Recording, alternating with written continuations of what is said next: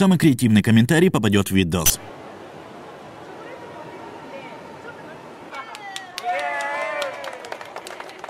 Йович. Криспаны говорят, что достаточно увидеть первые 5 секунд видоса, чтобы понять, о ком или о чем идет речь. Так вот, ролик, который я сегодня покажу вам, я пересматривал несколько раз, чтобы понять, все ли хорошо в Японии.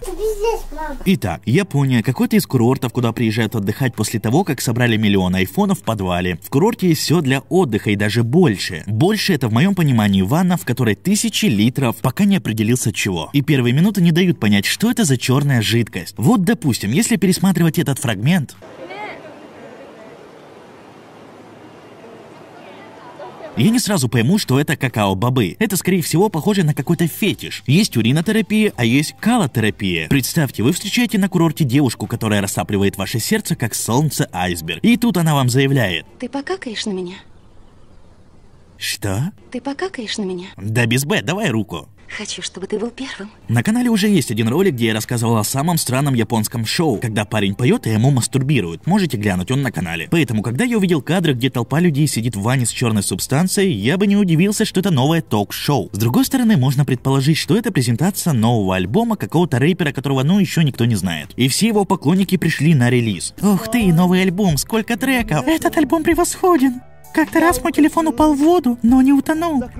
Наверное, потому что в моем плейлисте находятся все песни этого исполнителя. Я всех вас быстро забуду. Честное слово даю, бля, буду. Пока не забыл, Криспина, я очень благодарен вам за то, что нас уже целых 50к. Это не настолько много, как жителей в Японии, но стремиться есть к чему. И когда на канале будет 100к, у меня есть хороший подарок для всех подписчиков. И поверьте, он вам понравится. Поэтому зовите своих друзей, пусть тоже подписываются, а потом зовите родителей, пусть они делают репост в Одноклассники, а потом зовите бабушек, и пусть они рассказывают о канале на лавочке во дворе. М. Маркетинг. Итак, возвращаемся к Ване с говном. Вот этот фрагмент у меня вызывает подозрение. Наверное, все мы знаем, что шоколад, если в нем искупаться, остается на теле. Он не совсем по плотности, как вода. Он больше похож на сгущенку, которая плывет, обволакивает и так далее. Тут же ни хера подобного. И тогда вопрос к организаторам вечеринки. Мы используем современные технологии. Снимаем и... Действительно, технологии, даже запаха нет. Знаете, недавно мне прилетело предупреждение на ролик, где я рассказывал о лице Олега Брейна. Якобы тот, кто является владельцем документа, который я показал, подал заявку на блокировку видоса, а вслед за этим мне прислали предупреждение, что ролик «Японское караоке» содержит запрещенный контент, хотя видосы я эти брал с YouTube. Так вот, я не удивлюсь, если этот ролик тоже попытаются заблочить, ведь то, что на лице у японцев, не совсем похоже на шоколад. Поэтому Криспаны и зрители, которые только что пришли, давайте все дружненько возьмем и нажмем на здоровенный палец вверх под видосиком. Чтобы YouTube посмотрел на лайки и понял, что я не какой-то там олигофренд, даун или придурок. Чтобы он увидел и понял, что эти видосы реально нравятся зрителям. И чем больше лайков будет, тем больше у меня шансов оспорить все жалобы, которых уже ой-ой-ой. Давайте верить в чудеса. Давайте творить чудеса.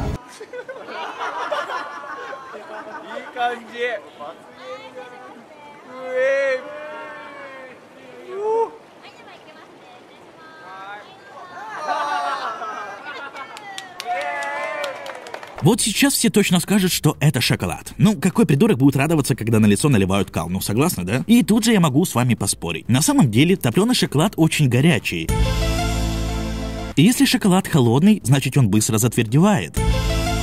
Есть два варианта. Первый. Шоколад горячий пар не терпит, чтобы не казаться чмошниками перед бабами. Второй вариант. Это не шоколад. Сильное заявление. Проверять я его, конечно, не буду. Самое лучшее подтверждение моей теории это, конечно же, факты. И вот один из фактов это лицо ребенка. Ну, говорят же, что дети не умеют обманывать. Посмотрите на его лицо. В глаза посмотрите. Неужели, если бы вам предложили столько шоколада, вы бы отказались? Да его взгляд так и пытается нам сказать, господи, за что? Я ведь просто хотел стать майнкрафтером. Дорогая, у нас закончилась туалетная бумага. У нас же дети есть. Ладно, конечно же, ролик несет юмористический характер, поэтому оскорблять я никого не хочу. Скорее всего, это шоколад, скорее всего, это просто отдых, скорее всего, это просто... Покакаешь на меня? Чуть не забыл. Давайте представим, что в этот бассейн попадут русские туристы. Ну, знаете, как эти ребята. И чего можно ожидать? Самое обычное это, наверное, людей с тазиками и баклажками, которые будут наполнять емкости, ведь шоколад халявный. Самое страшное это... Надеюсь, вам понравился выпуск и вы улыбнулись, ведь когда кто-то из вас смеется или улыбается, я это чувствую. Поэтому, если я прав, то давайте вы нажмете на «Мне нравится» под видосом и подпишитесь на канал. Ролики выходят очень часто, почти каждый день, поэтому скучно нам с вами не будет. Для подписки достаточно просто нажать на вот эту картинку и все. А если вы уже подписаны, то не забывайте нажимать на колокольчик. До завтра, я в Японию.